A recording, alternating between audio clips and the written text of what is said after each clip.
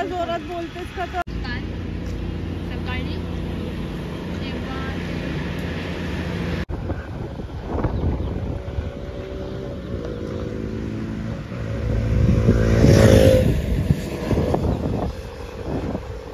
Friends आज मी hope आलो डेंगड आणि आजचा आपला डे थ्री हा झालेला आहे. कालचा मला ब्लॉग एंड करायला नाही मिळाला कारण मला खूप झोप आली होती. माझा बसा पण दुखत होता.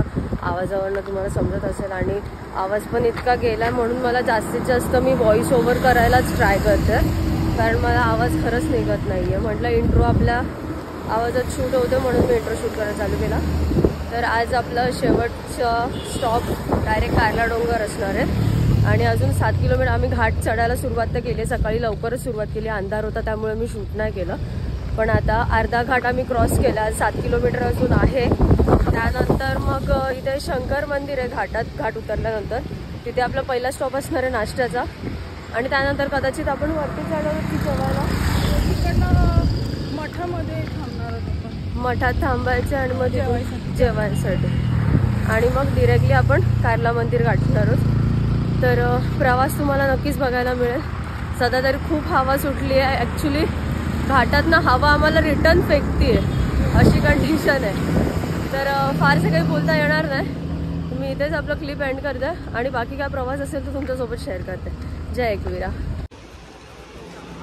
आणि आता शिंगरोबा मंदिराजवळ आपली पालखी थांबली आहे शिंगरोबाचं दर्शन घेण्यासाठी. आणि आपला एक छोटासा ब्रेकसुद्धा असणार आहे इथे जिथे स्नॅक्स ब्रेक असणार आहे. थोडाफार स्नॅक्स वगैरे करून रेस्ट करून आपण पुन्हा आपल्या प्रवासाला निघणार आहोत.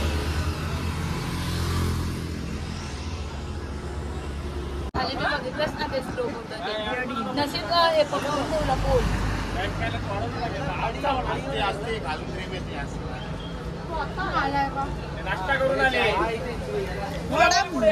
तर आता छोट्याशा स्नॅक ब्रेक नंतर आपली पालखी पुन्हा आपल्या प्रवासासाठी निघाली आहे.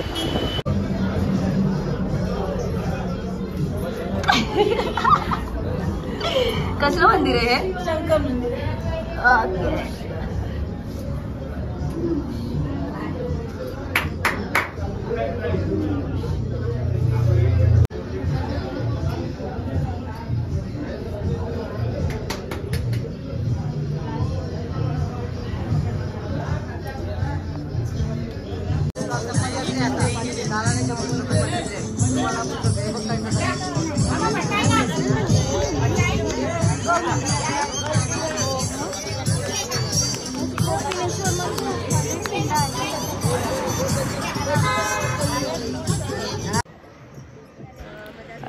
हा आपला शंकर मंदिराजवळचा सगळ्याच पहिला स्पॉ पहिला स्पॉट आहे नाश्त्याचा जिथे आपण थांबणार होतो. तर सगळेजणं सगळेजण रांग लावून उभे आहेत आणि आपणसुद्धा जिथे पावभाजी घेतली आहे. नाश्त्याला आपल्याला पावभाजी आहे. आणि इथे काठाला आम्ही बसून मस्तपैकी हा निसर्गाचा आणि आपल्या पालखीचा सिनारिओ बघत आपल्या पावभाजीची मजा घेतो. तर या तुम्ही पण पावभाजी खायला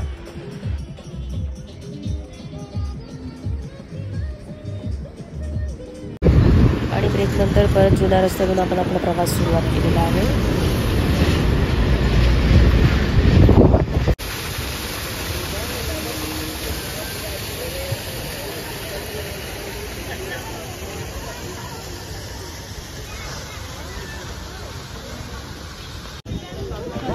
तरी एक अर्ध्या अर्ध्या पाऊण तासाचं म्हणा अंतर पार करून आम्ही खंडाला लेक जो आहे तिथे आम्ही सगळे चिल करायला बसलो होतो.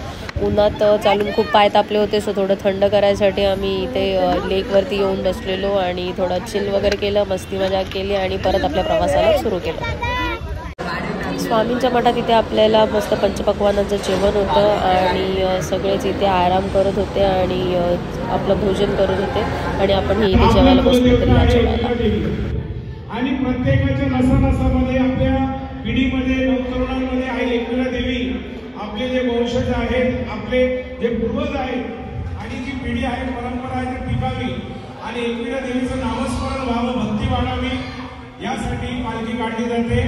आणि जर बघितलं या पालखी महिला वर्गाचा हा पहिलाच वर्ष असल्यामुळे इथे सगळ्या ज्या पदयात्री महिला होत्या त्यांचा आमचा सगळ्यांचा सत्कार के करण्यात आलं. आणि प्रत्येकाला एक शाल देऊन आम्हाला एक रिस्पेक्टफुल ऑनर दिलं गेलं.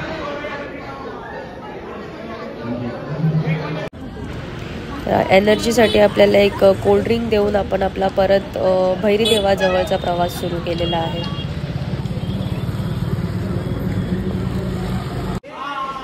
इथे आता आपण भैरी देवाच्या मंदिरात पोचलेलो आहोत जे एकविरेच्या भावाचं मंदिर आहे भैरीदेवाचं भैरी देवाचं. आणि म्हणूनच ह्याला एकविरेचं माहेरघरसुद्धा बोललं जातं.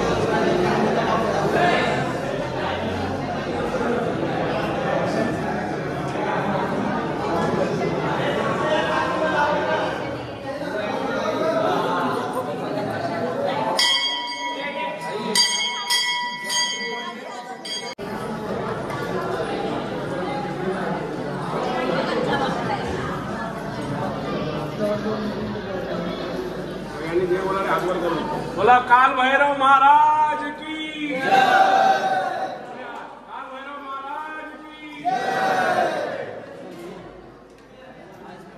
तर आपला फर्स्ट पार्ट इथेच एंड होतो आहे आणि पालखीची मेन मज्जा बघण्यासाठी पार्ट टूला नक्कीच व्ह्यू करा आणि आपला फर्स्ट पार्ट आवडला असेल तर चॅनलला लाईक शेअर आणि सबस्क्राईब नक्कीच करा.